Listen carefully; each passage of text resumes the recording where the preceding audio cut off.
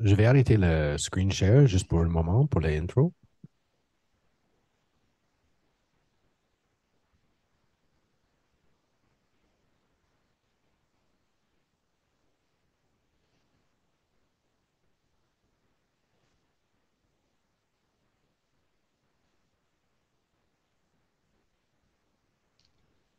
ça.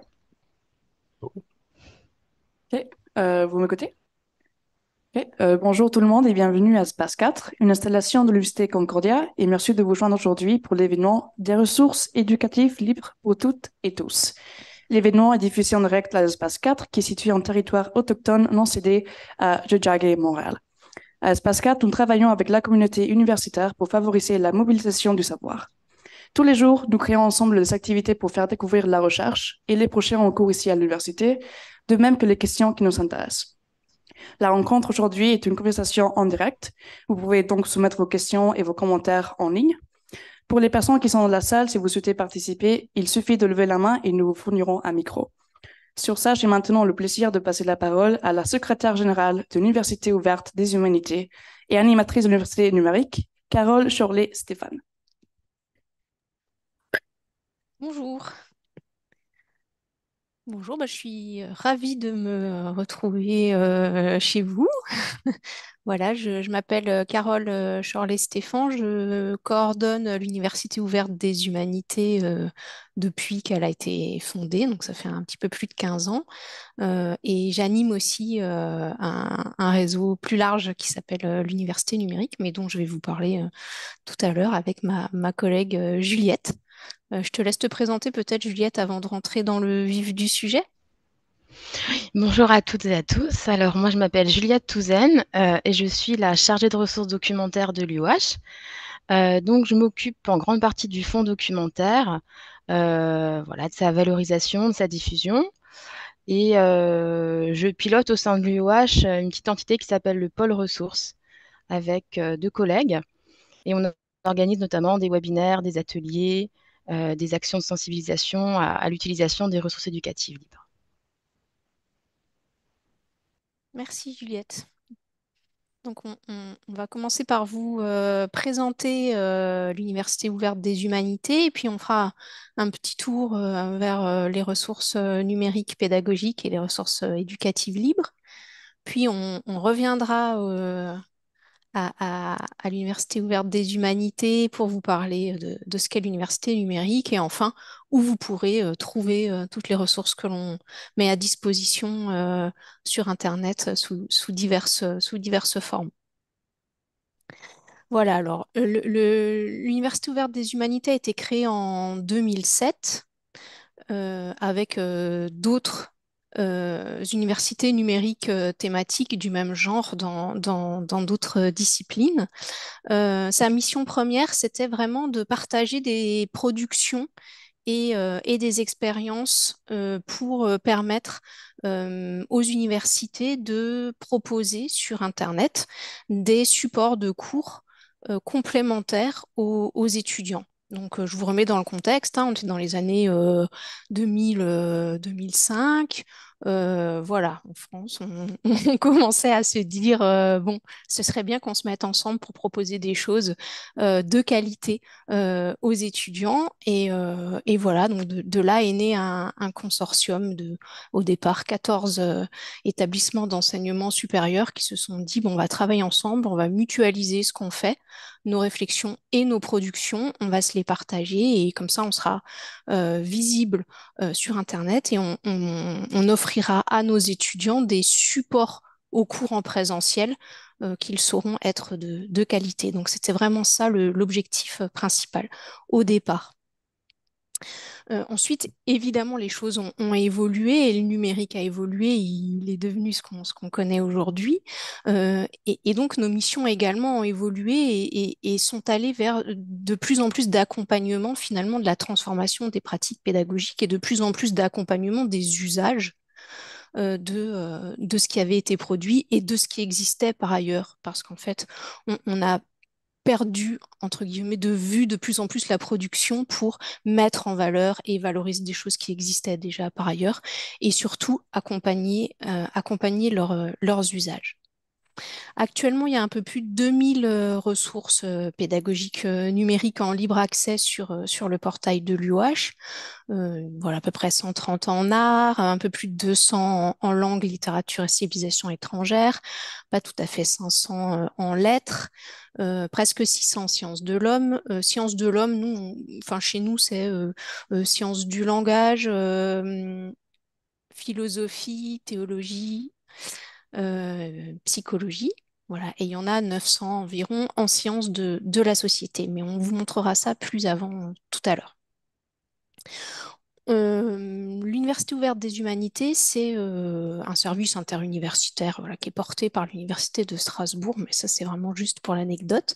Et il regroupe à peu près une quarantaine d'universités et d'écoles.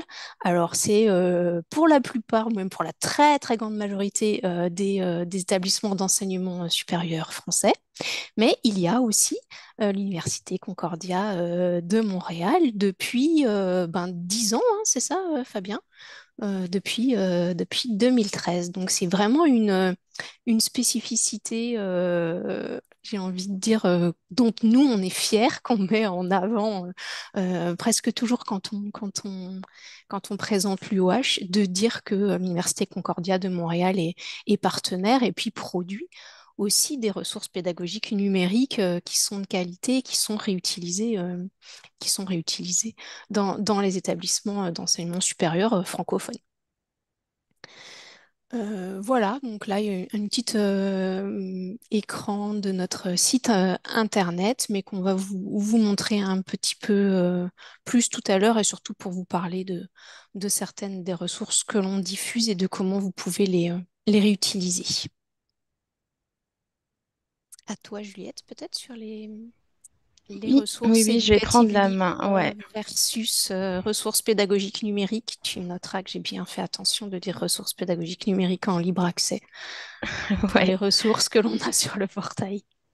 Ouais. En effet, je voulais revenir euh, assez rapidement avec vous sur la notion, ben, l'acronyme REL. Qu'est-ce que c'est hein, Parce que c'est vrai qu'on on en entend parler depuis quelques années, mais on a souvent du mal à, la, à, définir ce terme et surtout ce qu'il y a derrière le terme de libre. Donc là, je vous ai mis la définition de l'UNESCO, donc qui date de 2012. qui définit une ressource éducative libre comme un matériel d'enseignement, d'apprentissage ou de recherche sur tout support, numérique ou autre, appartenant au domaine public ou publiés avec une licence de propriété intellectuelle permettant leur utilisation, adaptation et distribution à titre gratuit. Alors c'est vrai que nous, à, l'UOH, euh, et je pense euh, finalement euh, au sein en fait des communautés de créateurs et d'utilisateurs de, ressources éducatives libres, on se réfère à cette définition de l'UNESCO. Mais je vais quand même revenir euh, euh, rapidement sur les termes déjà de qu'est-ce qu'une ressource? Alors une ressource, on peut la définir comme un objet de, de différentes natures euh, qui répond à un besoin. Donc une ressource, ça peut être à la fois une illustration, une image, euh, un scénario euh, un, un, scénario d'apprentissage. Ça peut être euh, un document PDF, un PowerPoint, un manuel aussi ou un logiciel. Donc on a une typologie extrêmement variée. C'est ce qu'on va retrouver aussi sur notre site, dans notre fonds documentaire. On a des ressources qui sont, sont assez variées. Euh, avec une granularité aussi euh, intéressante, c'est-à-dire que euh, on propose des cours complets donc qui sont des, macro-ressources. Et on a aussi des, petites vidéos, des petites capsules vidéo de 2-3 minutes. Et donc, c'est intéressant de pouvoir proposer différents formats, euh, sachant que pour euh, la majorité des enseignants, euh, il est beaucoup plus facile de pouvoir réadapter une petite capsule vidéo de 2 minutes qu'un grand cours qui a été fait par, un autre enseignant. Voilà, donc au, sein de, l'université numérique, on essaye vraiment de, développer cette granularisation des contenus pour une meilleure, réadaptation par les enseignants. Donc le, terme de ressource. Ensuite, en quoi est-ce qu'elle est éducative? Ben, Tout simplement, une ressource éducative, elle est utilisée dans un contexte d'apprentissage et d'enseignement. Et enfin, elle est signifiée étant comme libre euh, lorsque son propriétaire, en fait, accorde certaines libertés euh, permettant sa réutilisation, euh, sa modification et sa rediffusion. Et donc, euh, on, va s'appuyer sur les, euh, les 5 R. Alors, je ne sais pas si vous avez déjà entendu parler, mais si vous touchez un peu aux ressources éducatives libres, je pense que ça vous parle. C'est les 5, en fait, les 5 permissions qui sont retenir, réutiliser, réviser, remixer et redistribuer et qui permettent, en fait, à une, euh, à une ressource de, de pouvoir être utilisée et modifiée librement. Donc le terme retenir, qu'est-ce que ça veut dire? Euh, C'est le droit, par exemple, de pouvoir télécharger une ressource, de pouvoir en faire une copie. Euh, réutiliser, ben, c'est pouvoir réutiliser une ressource dans un autre contexte, par exemple, ou, pour un, document électronique ou un livre numérique, pouvoir, par exemple, l'imprimer. Enfin, réviser, qu'est-ce que ça veut dire euh, réviser? C'est avoir le droit de modifier cette ressource alors ça peut être modifié pour plusieurs raisons hein, ou dans plusieurs contextes. Euh, on peut la mettre à jour parce qu'elle n'est plus à jour sur certaines notions, par exemple. On peut la recontextualiser. Euh, on peut également l'abréger et aussi, par exemple, proposer une traduction. Voilà, on, pourrait vouloir traduire une ressource en anglais, par exemple, si elle n'est qu'en français et, ou en d'autres langues ou aussi la rendre accessible pour un public, euh, pour un public euh, en situation de handicap. Euh, remixer, alors ça c'est le droit de pouvoir finalement mixer ou en tout cas combiner cette ressource avec d'autres ressources libres d'accès. et enfin redistribuer. par exemple, nous, c'est ce qu'on fait sur notre portail OH. les ressources restent en fait sur les serveurs des universités. Nous, on les appelle, on les appelle entre guillemets, on les moissonne et on les propose sur notre portail. Donc ça permet finalement euh, de euh, proposer euh, cette ressource sur d'autres canaux de diffusion que, que sur le, canal de diffusion de départ. Voilà. Donc c'est vrai qu'une ressource libre, dite libre en tout cas, c'est une ressource dont la licence accorde les permissions que je viens de vous citer.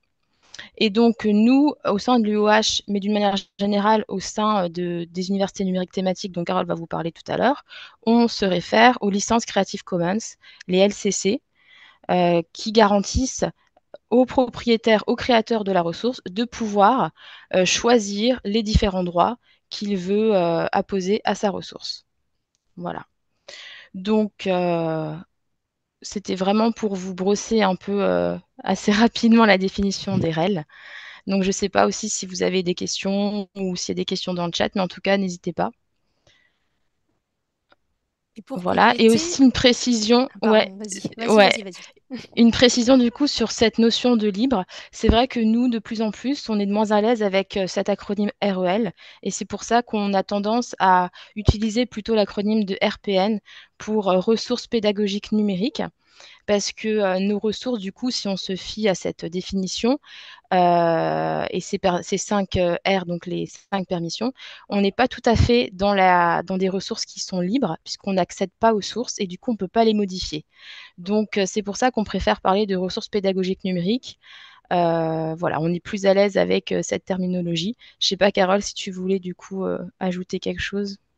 C'était ce que je voulais ajouter. Ouais, en fait, je le gardais pour la fin. Mais euh, voilà. Tu veux passer à la suite?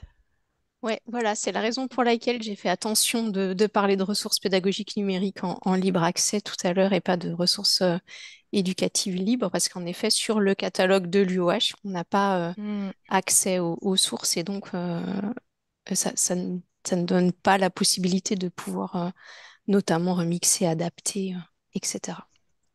Donc oui, tu peux, tu peux ouvrir le, le, euh, cette, cette diapo là pour.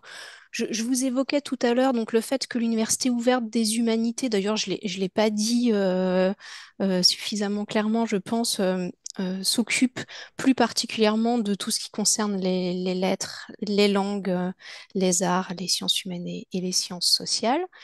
Euh, et en fait, elle a été créée en, 2007, comme je, vous l'ai dit avant, dans un, mouvement de création de ce qu'on a appelé en France les universités numériques thématiques. qui ont été créées à partir de 2003-2004, d'abord par les, par les médecins, puis en sciences juridiques. ensuite sont arrivés l'économie et la gestion, puis, je crois, les sciences de l'ingénieur, les sciences, l'environnement et le développement durable et, et les IUT. Donc ça fait que depuis à peu près 2005, on va dire entre 2003 et 2007, ont été créées huit universités numériques thématiques et ce sont toutes des regroupements d'établissements d'enseignement supérieur exactement comme, comme nous, comme l'Université ouverte des humanités. Voilà, à peu près toutes dans, dans les mêmes tailles, hein, entre 30 et, 50 établissements membres du consortium. Voilà, je vous épargne les, détails juridiques qui ne sont guère, guère intéressants. Euh, mais tout ça pour vous dire que ça fait euh, quand même presque une vingtaine d'années que ce mouvement de mutualisation euh, et de partage de ressources existe en France et c'est un petit peu une particularité, on va dire, française parce qu'on est soutenu très fortement par, par le gouvernement dans, dans nos initiatives. Donc voilà, une, un vrai, une vraie politique, on va dire, nationale en faveur de l'éducation ouverte. Euh, et, on, est, on, est plutôt, euh, on est plutôt content de faire partie de cela. Néanmoins, euh, ces huit universités numériques thématiques se sont créées de manière un petit peu disparate en fonction des domaines disciplinaires dont elles, dont elles émanaient. Et, ça n'a pas été fait selon un cadrage euh, euh, national global, euh, ni dans une vision commune au départ, ni même souvent dans un... Enfin voilà, l'objectif grossièrement était le même, mais, mais il y avait des manières de faire qui, qui différaient fort. et il y a eu la volonté euh, de la part des universités euh, numériques thématiques, mais surtout de la part des établissements euh, d'enseignement supérieur français, d'y voir plus clair et d'essayer de simplifier finalement les choses. voilà, c'est la raison pour laquelle ces universités numériques thématiques se sont regroupées en une association, donc un peu chapeau, qui est l'université numérique dont je vous parlais tout à l'heure et, euh, que, j'anime.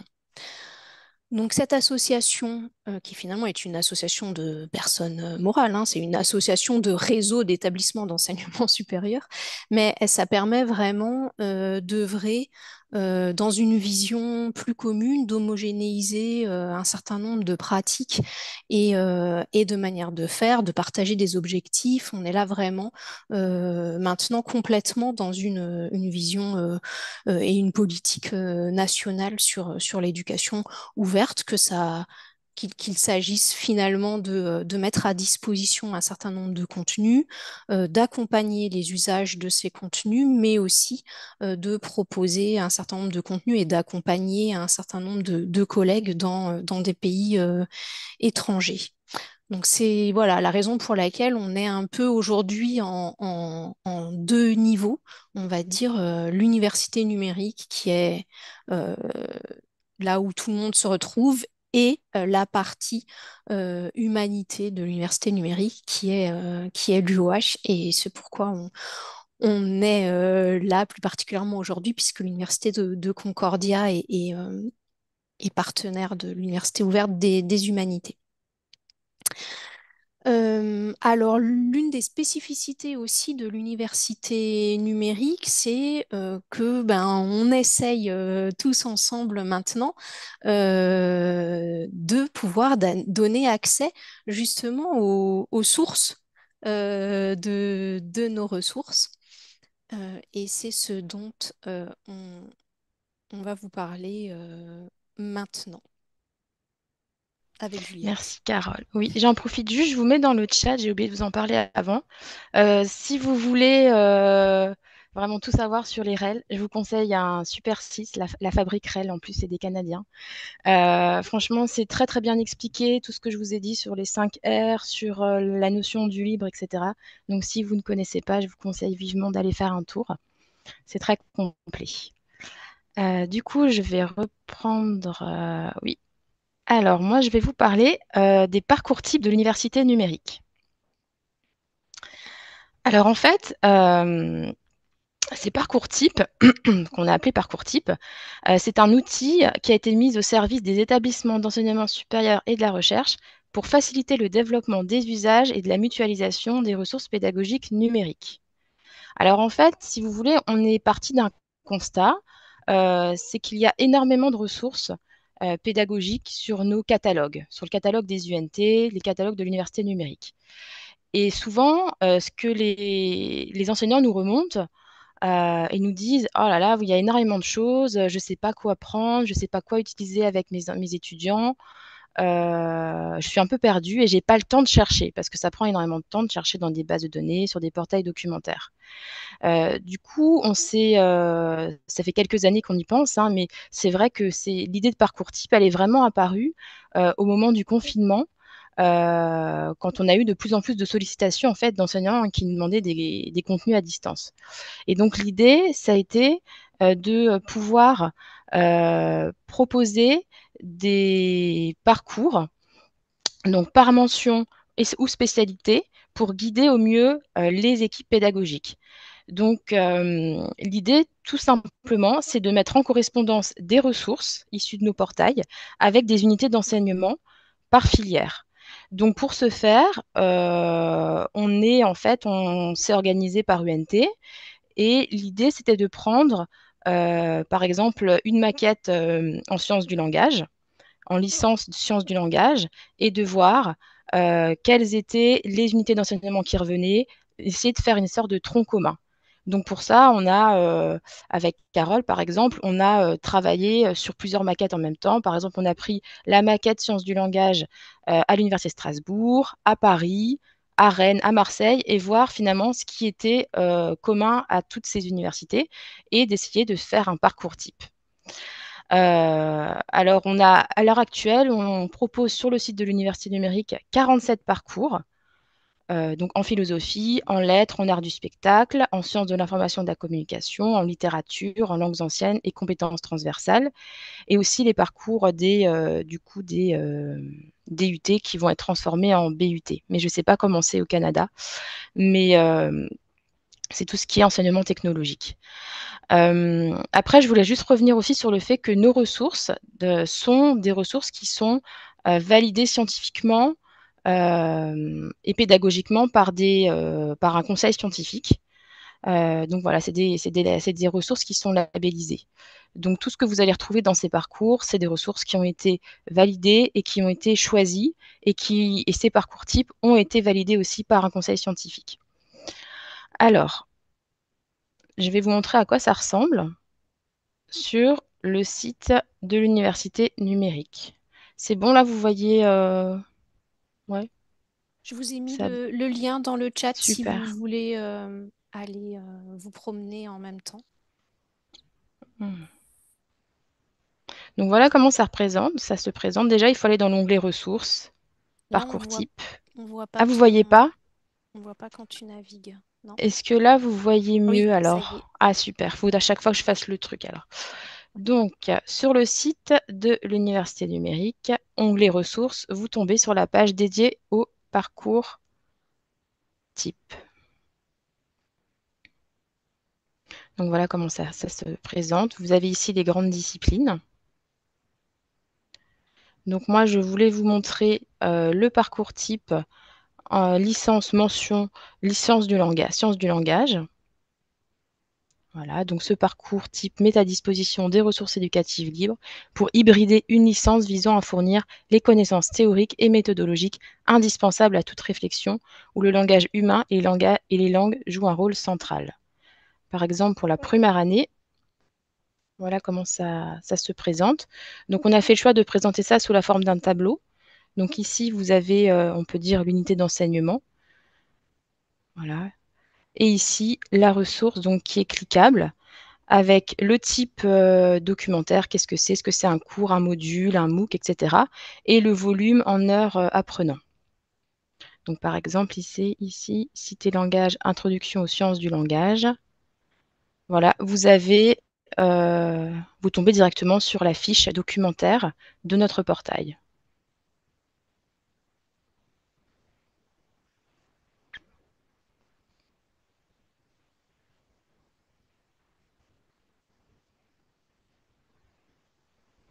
Donc ici, on a une catégorie linguistique générale et sociolinguistique, les sons linguistiques. On trouve aussi euh, des, euh, on va dire des matières communes, par exemple sur comment maîtriser une langue étrangère. Vous avez aussi un certain nombre de ressources sur comment acquérir une méthodologie du travail universitaire. Ce type de ressources, on nous les demande souvent comme c'est des compétences transversales. Et donc, les ressources, elles sont issues des catalogues des UNT. Et on a une personne dédiée à l'université numérique qui s'occupe de ces parcours types parce que ça demande pas mal de, de, mise à jour. Donc, on a la deuxième année. Quand on parle de première et de deuxième année, euh, je veux dire, c'est vraiment la première année de l'enseignement supérieur, euh, comment c'est organisé chez nous, mais euh, voilà, enfin, nous, on parle de licence, chez vous, c'est un autre, un autre nom, mais, mais c'est vraiment la première année de, d'enseignement supérieur. Ça peut aussi mm. convenir dans, dans, le cadre de d'autres types de formations. Voilà, c'est première année du, de l'enseignement supérieur, quoi quel que soit le nom du diplôme, on va dire. On a aussi une partie là sur développer une culture numérique. Et en troisième année, linguistique comparée et plurilinguisme, où on retrouve euh, la ressource de Davy sur le cours de sociolinguistique variationniste à travers l'exemple des Français de l'Ouest canadien dont va vous parler euh, Carole juste après. Avec ici en troisième année aussi une partie sur comment se spécialiser euh, sur des ressources pour se spécialiser en FLE.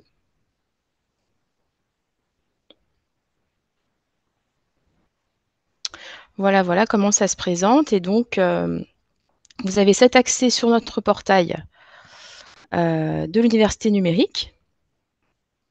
Mais vous avez également un accès, alors il faut que je revienne. Vous avez également un, accès euh, à notre Moodle de l'université numérique. Donc en fait, il faut savoir que euh, quand on, a les sources des, des, ressources qui sont indexées sur notre portail, euh, on, a, on a pu les médiatiser sur euh, le Moodle, sur un Moodle qu'on a, qui est tout, tout récent en fait, où on retrouve en fait ces parcours types. Et ce qui est intéressant en fait avec le Moodle, c'est que les enseignants peuvent directement consulter les ressources, mais aussi les intégrer plus facilement à leur propre, plateforme euh, d'enseignement à, distance en fait. Après, je ne sais pas ce que vous utilisez, si Moodle euh, vous utilisez Moodle au Canada, mais euh, en tout cas ici, euh, Moodle est vraiment un support très, utilisé par nos enseignants pour créer leurs cours et, partager des, ressources avec leurs étudiants. Donc là, par exemple, on est sur le Moodle de l'Université numérique. La licence, on va prendre licence mention lettres parce qu'il me semble qu'on a des enseignants en lettres dans le, dans le public. Voilà comme ça se présente. Donc, par exemple, ici, avec euh, des ressources en langues anciennes. Voilà, alors là, je clique sur latin remise à niveau. Et donc là, on constate que c'est des cours qui ont été médiatisés et donc euh, proposés au format euh, Moodle. Donc, je ne suis pas une spécialiste de Moodle, mais je pense qu'il y a pas mal de... Voilà, il y a du H5P,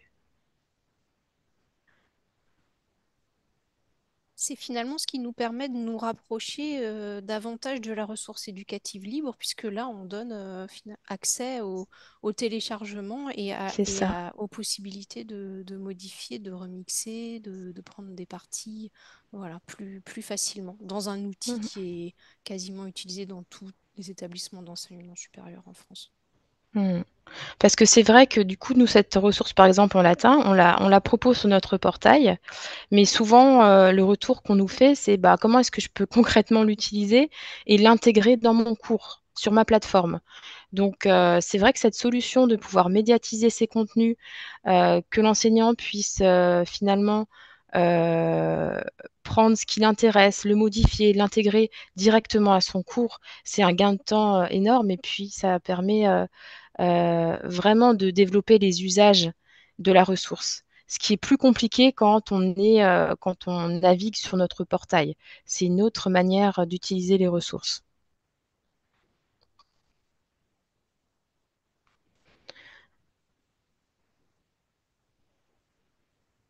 Voilà. Je vous ai mis le lien vers le Moodle aussi dans, le chat. Donc, vous avez le, lien vers les, parcours où, vous vous rendrez vite compte qu'il y a beaucoup plus de, ressources dans les parcours que dans le Moodle, puisque évidemment, dans le Moodle, nous n'avons que les ressources pour lesquelles nous disposons euh, des, des sources et des formats Moodle. Et euh, pour euh, du coup l'accès à ce Moodle, on peut se connecter, il y a une, c'est une connexion, on n'est même pas obligé de se connecter, donc on a accès au contenu. Par contre, pour pouvoir télécharger les ressources et les intégrer euh, sur votre plateforme à vous, là il faut se, il faut se connecter pour le téléchargement. Mais il suffit de se créer un compte. Hein. Enfin, ouais, c'est très rapide. Hein. Tout le monde peut se créer un compte. Donc voilà, par rapport au parcours type. Euh, donc, euh, si j'ai un petit conseil euh, à vous donner, si vous êtes enseignant et que vous voulez utiliser des ressources pour compléter votre enseignement, pour avoir d'autres idées, voir ce qui se fait sur le même sujet, rendre votre cours plus interactif, etc. Euh, vous pouvez consulter euh, dans un premier temps ces parcours types et aller voir euh, les ressources. Voilà, c'est déjà une première approche et finalement un, service qu'on vous fait de pouvoir vous proposer une offre déjà ciblée par rapport à, votre enseignement. Donc voilà, soit via le site de l'université numérique, soit via le Moodle.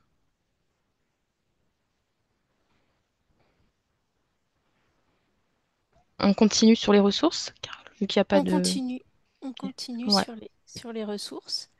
Donc, ben voilà, on ouvre encore un petit peu plus le spectre. Donc, après l'avoir fermé avec le, Moodle euh, pour, vous montrer euh, comment on peut faire pour aller télécharger certains, certaines ressources. Maintenant, on va ouvrir complètement puisque euh, euh, les ressources que, nous proposons, les plus de 2000 ressources que nous proposons sur le portail de, de l'UOH, euh, ne sont pas toutes dans, les parcours, puisque euh, finalement, les, parcours, ça a été vraiment juste un moyen de, ranger un certain nombre de contenus en fonction d'une certaine logique de maquette hein, propre propre à notre, à notre euh, logique euh, en, France, mais, euh, mais le portail de l'UOH, il est ouvert à, tous, à tout le monde, à toute la francophonie, et donc on peut y retrouver là davantage encore de, de ressources à, à, réutiliser. alors voilà, on vous a fait là un petit échantillon, on va dire, de, euh, contenu qui, nous semblait euh, intéressant à, vous montrer, aussi pour vous euh, montrer qu'il y a, ben, beaucoup de disciplines qui sont concernées sur ce portail. Euh, que tout ce qu'il y a là euh, a été euh, validé soit par notre conseil scientifique, comme le disait Juliette, soit par, par les établissements d'enseignement supérieur qui l'ont déposé là. Donc tout est vraiment d'un niveau universitaire et, et, et, a priori, on l'espère, de, de, qualité. voilà, il y a ben, des sciences du langage, de la philosophie. Euh, euh, il y a aussi énormément de formats euh, différents, de la vidéo, de l'audio, des sites web, du, textuel, des petites capsules, enfin voilà, exactement ce que, ce que vous disait Juliette tout à l'heure. On va vous en présenter quelques-unes et notamment une de celles euh, produites par, euh, par l'Université Concordia de, Montréal, par Davy Bigot qui est euh, dans la salle. Donc Juliette, si tu veux bien ouvrir la, le cours de sociolinguistique variationniste de, de Davy. Voilà, donc quand vous arrivez là sur notre portail, vous avez en fait ce que nous on appelle une notice, mais ça vous donne finalement un, descriptif de, ce que vous allez trouver dans, euh, dans, la ressource, et puis ça vous donne des indications euh, complémentaires en termes de niveau, d'objectifs pédagogiques. Enfin voilà, ça doit normalement vous aider à, pouvoir réutiliser euh, plus facilement les contenus dans vos enseignements.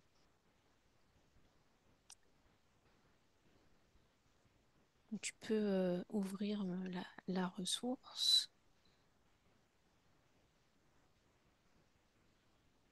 je pense qu'il va falloir que tu changes d'écran parce que là, on n'a pas, on voit pas apparaître, enfin, quand tu navigues. Non, je sais pas, mais on, est toujours encore sur la notice. Si, si, j'avais un message, euh, un message de sécurité sur la ressource. Donc... très bien. Ok.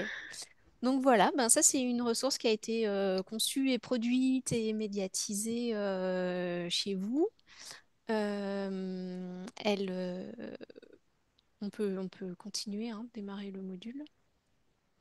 Elle comprend trois, modules différents. Et, on y présente ben, les grands principes de la linguistique variationniste, et, et, euh, et d'autres. Euh,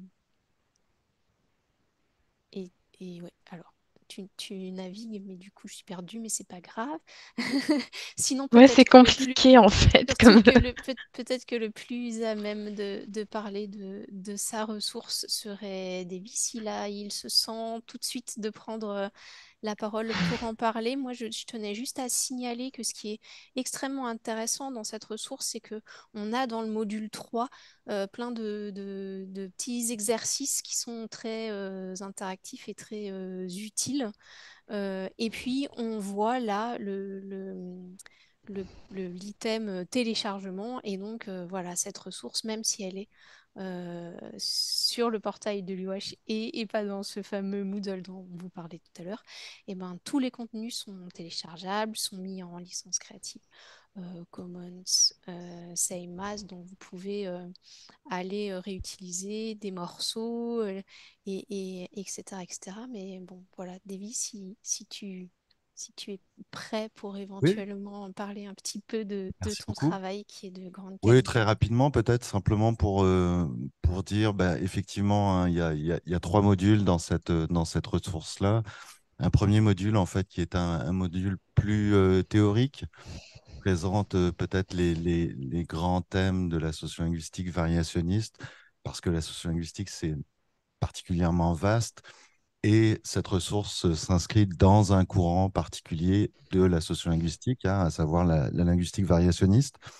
Le module 2, effectivement, lui se rapproche plus, je, dirais, de l'aspect historique des variétés de français de l'Ouest canadien, euh, pour bien comprendre en fait comment euh, ces variétés de français sont, sont nées, tout simplement depuis l'époque de euh, la colonisation jusqu'à maintenant, et on passe effectivement à travers les provinces euh, de, euh, du Manitoba, de la Saskatchewan, de l'Alberta, ainsi que euh, de la Colombie-Britannique.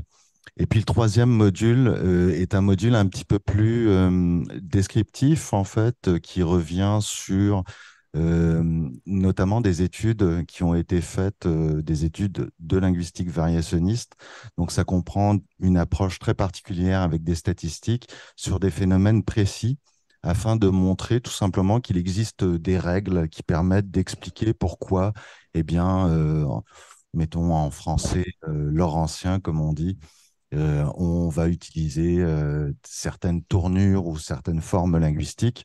Donc, on a vraiment, je dirais, un module théorique en premier, un module historique en deuxième partie, et puis un module 3 qui regroupe à la fois la théorie, la description mais également l'application, si je puis dire, euh, de, de, toutes ces théories, euh, avec, euh, avec essentiellement aussi une description peut-être démolinguistique de la situation de, des variétés de français de l'Ouest canadien actuellement. Donc on a effectivement remis à jour en 2022 avec mon collègue Robert Papin de l'Université du Québec à Montréal on a remis à jour certaines statistiques parce que les statistiques Canada avaient euh, sorti effectivement en 2021 euh, bah, les derniers chiffres Et, et, donc, par rapport à la version qu'on avait produite en 2015, euh, on voulait bien évidemment euh, tenir la, ressource à, jour et on en a d'ailleurs aussi profité pour, euh, dans le module 1, rajouter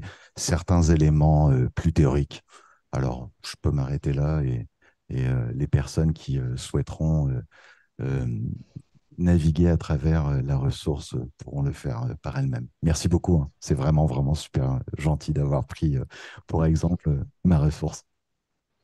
Bah, elle est vraiment, vraiment super bien construite. Hein. Alors, vraiment, c'était un, exemple. Enfin, c'était du pain béni pour nous euh, en termes d'exemple. C'est vraiment euh, grâce à Fabien Olivry euh, qui m'a formé comme il se doit sur Opal et qui a travaillé lui aussi énormément à la conception.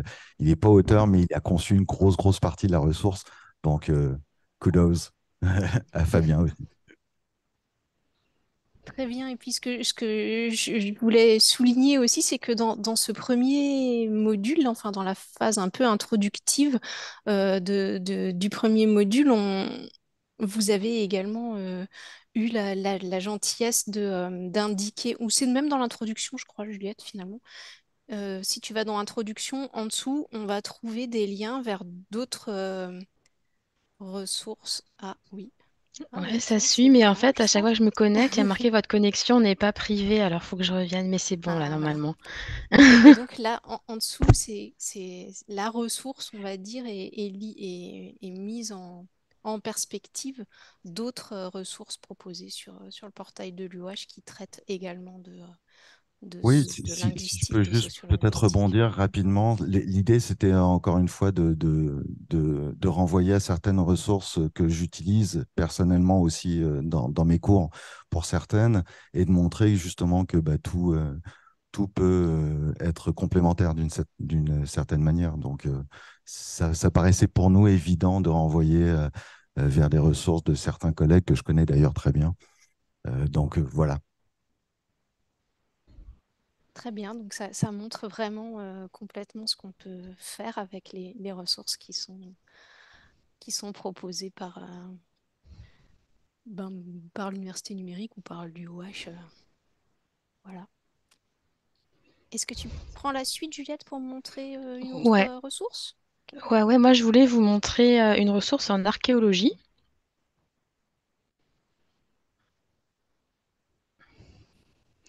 Voilà, cette ressource, elle s'intitule euh, Dernier chasseur-cueilleur et premier paysan, la fin de la préhistoire en Europe. Donc là, pareil, hein, vous avez la fiche de métadonnées avec les différentes informations euh, euh, concernant les objectifs pédagogiques, les propositions d'utilisation, la durée, etc. Et en fait, moi, ce que j'aime bien dans cette ressource, c'est que c'est un web documentaire. Vous n'avez pas le bruit de la mer? Moi, je vais couper, ça me perturbe.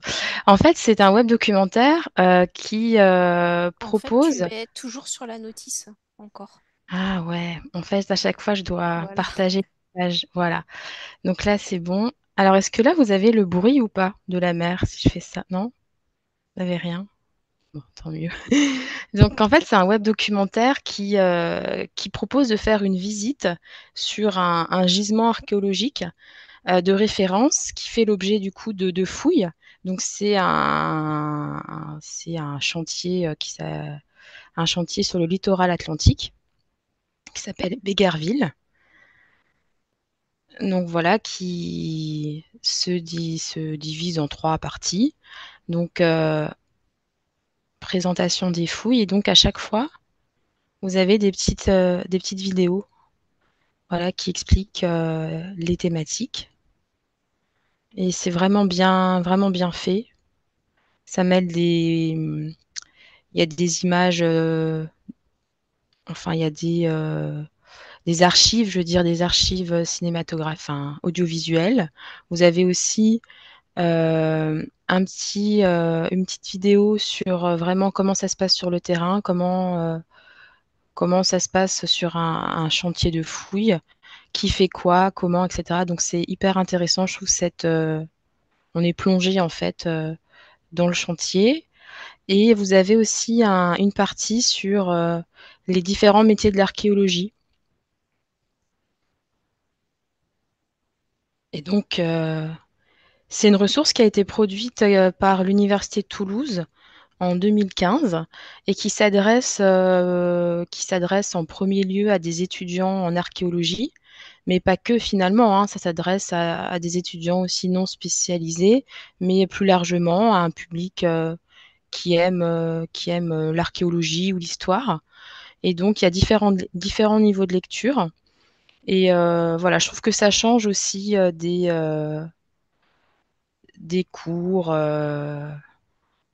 des cours sous format texte ou voilà. Donc c'est un web documentaire, des petites vidéos. Et donc je pense que c'est une bonne approche. Ça peut constituer une très bonne introduction à l'archéologie en général, mais aussi aux méthodes. Voilà, donc je pense que peut être, ça peut être une ressource utile à des étudiants en histoire en première année de l'enseignement supérieur. Voilà.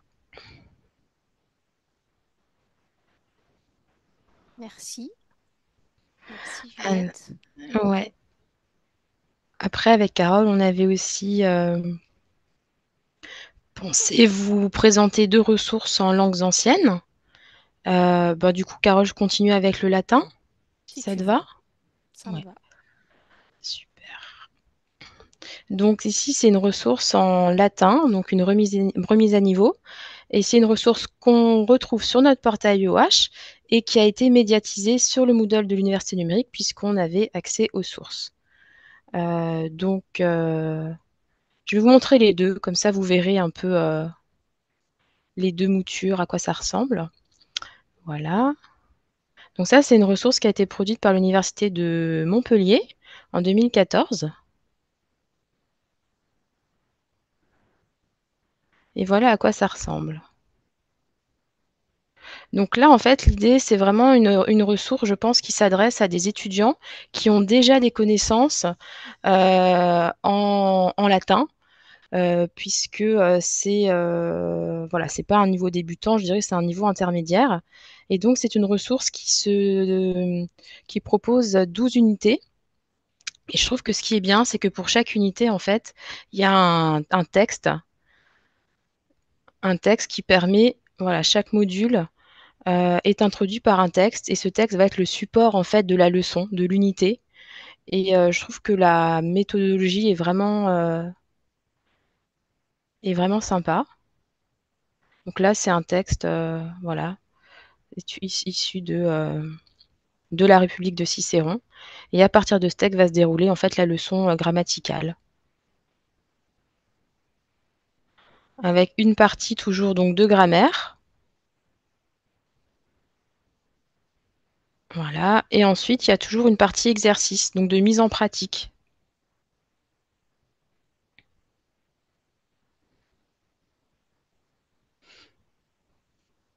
Et par exemple, moi qui ai fait du latin euh, au lycée et un peu à la fac, c'est vrai que j'aurais bien aimé avoir un, cours en fait comme ça, un cours disponible en ligne euh, pour reprendre les points grammaticaux, les déclinaisons, euh, la conjugaison, etc. Donc voilà, je trouve qu'elle est vraiment, vraiment intéressante, cette ressource. et maintenant, je vais vous montrer du coup ce que ça donne sur le Moodle de l'Université numérique pour que vous voyez vraiment les deux formats. Donc voilà, c'est une ressource qui a été médiatisée. Donc on retrouve le même contenu avec, voilà, par exemple, euh, la première unité, avec les objectifs, les déclinaisons, et en fait les différents exercices aussi euh, de l'unité.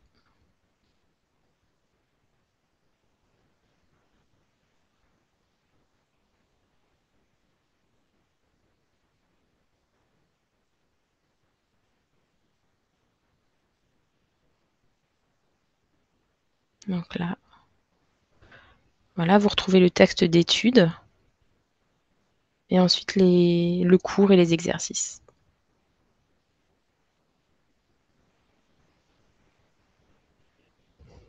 Carole, du coup, je te, tu reprends, tu nous parles du grec? Oui, mais juste très rapidement parce que finalement ça ressemble. Que c'est le même truc, hein, ouais. quand même beaucoup à la manière, de... même si ça n'a pas du tout été réalisé par la même équipe, puisque là c'est une équipe niçoise qui s'est occupée du, du, du grec ancien et ça concerne vraiment davantage des, des, des, hum, étudiants débutants, mais euh, euh, c'est la même logique, hein, on va dire. Euh, la collègue part de, de textes pour faire étudier des, des, points de, de, la langue et, et, propose un certain nombre d'exercices. Donc on est toujours vraiment dans une volonté là d'un un peu interactive de, faire, euh, comment dire, euh, se, former en faisant, quoi, on va dire. Euh, voilà, donc c'était voilà, juste très rapidement vous montrer les différentes choses et surtout les différents formats qui peut, qui peut, qui peut y avoir. dans ce catalogue de, ressources pédagogiques numériques en libre accès qu'on propose sur l'Université ouverte des humanités. Voilà, ben nous, on, en a fini, on va dire, de notre présentation un petit peu euh, formelle euh, euh, et, expositive. Peut-être que Fabien, qui est le référent UOH pour l'Université de Concordia, a des choses à, compléter, puisque tu, tu incarnes finalement oui, ben, il, y a une, il y a une ressource chez nous qui est en cours de, de production avec euh, Denis Yakin, euh, qui, qui, traitera de la compréhension du, du français québécois en FLS. Et euh, que je, ben, je suis à, la disposition des collègues chaque année pour répondre à l'appel à projet, pour vous aider à, à, monter les dossiers au besoin. Et je ne sais pas si vous avez des questions par rapport à, tout ça. C'était une présentation très riche. Je remercie vraiment Carole et Juliette euh, énormément d'avoir pris le temps de nous montrer tout ça. Je ne sais pas si les collègues ont des questions. Oui. Oui, ben, merci pour la présentation. Merci aussi pour l'aperçu que vous avez donné de diverses ressources, mais à un niveau vraiment plus basique. Disons qu'une ressource euh, est présentée comme durant 8 heures, 16 heures, 30 heures. Est-ce que c'est finalement huit heures de vidéo ou est-ce que c'est une série de vidéos, des textes à lire? Euh, C'était pas tout à fait clair, en fait, dans, la même. Donc, vraiment, concrètement, qu'est-ce que ça implique suivre un cours de l'UOH? Merci. Oui, alors c'est très souvent une, une, euh, alternance, hein, on va dire, de, de, choses. Vous allez aussi trouver euh, des vidéos très longues et euh, des cours euh, en philosophie notamment qui ont été euh, réalisés tout au début de, l'UOH par l'École normale supérieure de Lyon, où ce sont des gens qui parlent pendant 10 heures. donc ça existe aussi encore, mais on, essaye de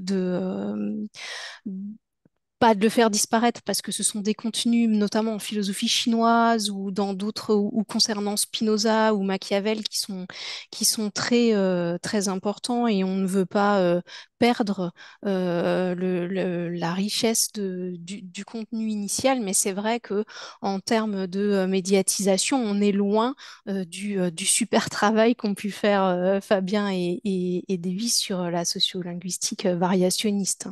Donc il y a vraiment euh, vous allez vraiment trouver un, peu tout type de format parce que ben, ça fait 15 ans que ça existe et qu'il euh, il y a encore en ligne des choses que l'on a produit il y a qu'on a produites il y a 15 ans et, et, et qu'on n'a pas pu remettre au goût du jour. Mais on essaye enfin, toutes les, ressources euh, depuis une dizaine d'années, c'est plutôt des petites vidéos, du texte, des exercices, des activités. Et donc, vous pouvez aller récupérer, on va dire, des, des petits bouts, même si vous avez besoin. Je ne sais pas si je réponds complètement à votre question. oui, bonjour, j'ai une question aussi. Vous avez évoqué des mini-capsules de 2-3 minutes au début de votre présentation. Est-ce que ces capsules-là sont toujours intégrées à un cours plus vaste, une formation plus vaste, ou il y a une section particulière où on peut trouver ces mini-capsules pédagogiques, peut-être classées par, par domaine, par enfin? Alors, le plus souvent, elles sont dans des contenus plus vastes, mais il y en a, et là aussi, en philosophie. Euh, qui, euh, qui fonctionnent de manière indépendante. Et en français écrit aussi, hein, il y en a qui fonctionnent de manière indépendante. Donc ça, vous avez, en fait, quand vous allez sur le portail de l'UOH, je ne sais pas, peut-être si tu veux montrer, Juliette, le portail, je ne sais pas, euh, si tu veux naviguer dessus un peu, vous avez des facettes, en fait, à, à, gauche, où vous pouvez aller chercher sélectionner le format, par exemple, et mettre vidéo. Je crois qu'on peut faire ça encore. Hein. On fait plein d'évolutions sur notre portail. Je ne sais pas si on peut encore le faire, mais je crois qu'on euh, Je pense dans le type de ressources. Ah oui, voilà, c'est ça. Et donc là, on peut, vous allez pouvoir euh, chercher, par exemple, euh, des, des, exercices ou des essentiels pour les, les, les petites vidéo dont parlait Juliette tout à l'heure. Après, il me semble, Carole, qu'on voulait euh, ajouter cet item capsule vidéo, enfin, tu sais, capsule vidéo. Ah oui. Euh, ah, mais on l'a pas encore d'avance. Ouais. Ben oui, en fait, on en a discuté, mais on l'a pas encore fait. Mais euh, on compte le faire parce que c'est vrai que ça rejoint finalement ce qu'on fait aussi dans différents projets, comme le projet Flexi Santé et Punchy, qui, bon, peut-être que tu en parles mieux que moi, Carole, mais qui sont des projets euh, qui ont pour but de produire de manière collective, enfin, euh, de, produire des euh, micro-contenus en H5P, donc, pour Moodle. mais voilà, ça rejoint en fait un peu de cette idée de pouvoir mettre à disposition des micro-contenus, mais c'est hébergé sur le ça, ça, sera hébergé sur le Moodle de l'université numérique. Donc, je ne sais pas, on va les verser ou pas sur notre portail, Carole?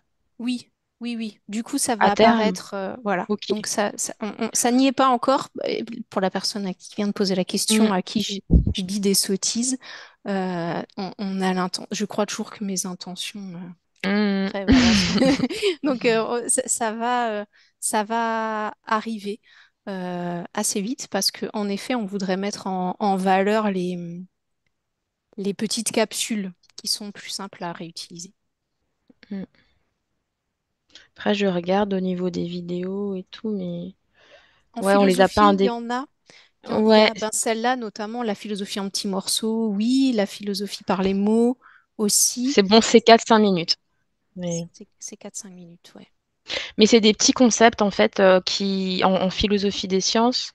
Donc on en a quelques-unes, mais c'est vrai qu'elles sont souvent là pour le coup, elles sont à l'intérieur d'une ressource plus, plus grande quoi.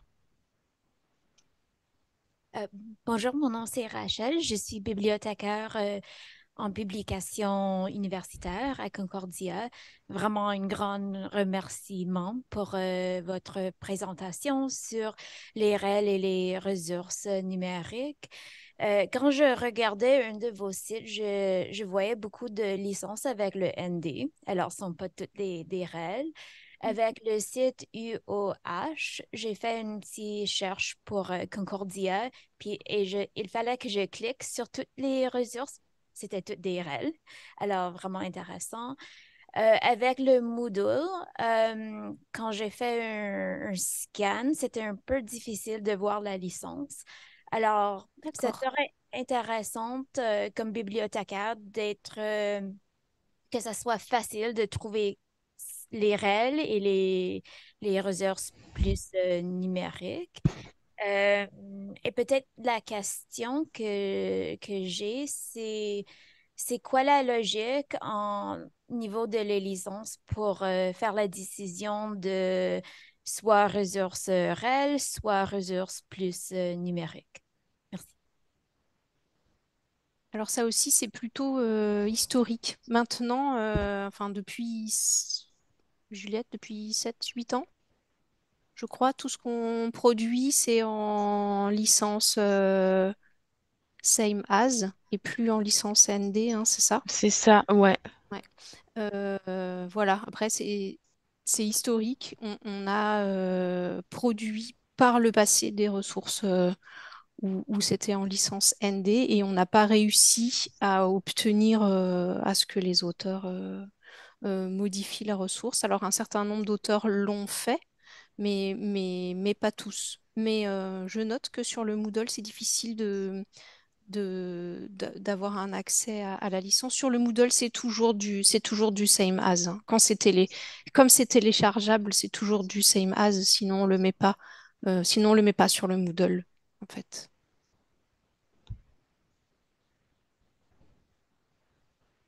S'il y a une dernière question. Non. Mais encore une fois, euh, vraiment tous nos remerciements d'avoir accepté de, de présenter l'UOH aujourd'hui.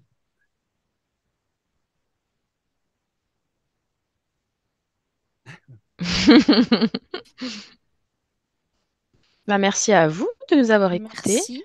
Ouais, et puis on reste à votre disposition parce que parfois bah, il y a des questions qui viennent a posteriori. Euh, voilà, les collègues qui ont posé des questions ont peut-être envie de continuer d'échanger, donc n'hésitez pas. Euh, tu peux peut-être, euh, Fabien, communiquer nos adresses mail pour que voilà, on puisse continuer les échanges euh, au-delà de ce temps que vous nous avez offert pour euh, présenter ce que l'on ce que l'on fait, ce que l'on met à votre disposition, plus ou moins bien.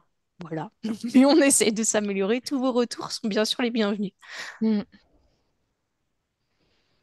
Merci encore. Bonne fin de journée. Merci. Merci. Bah, bonne journée à vous, du coup. Nous, c'est la fin, vous, c'est le début, si j'ai bien compris. Merci à vous. D'accord, bah merci encore Juliette et Carole pour cette présentation et merci tout le monde pour s'avoir présenté ici à l'espace 4 et pour avoir participé à cette conversation. Nous allons maintenant fermer la salle Zoom et on va aussi arrêter la diffusion directe, mais vous pouvez rester ici pendant quelques une demi-heure pour si vous voulez engager ou pouvoir parler avec, avec votre collègue. Et vous pouvez toujours euh, avoir cette conversation, elle est déjà euh, disponible dans notre chaîne YouTube. Donc, vous pouvez la partager avec votre ami ou votre collègue. Et je vous souhaite une très belle journée et avec de la neige en plus. Donc, euh, merci et à bientôt. Merci. Merci. Merci beaucoup.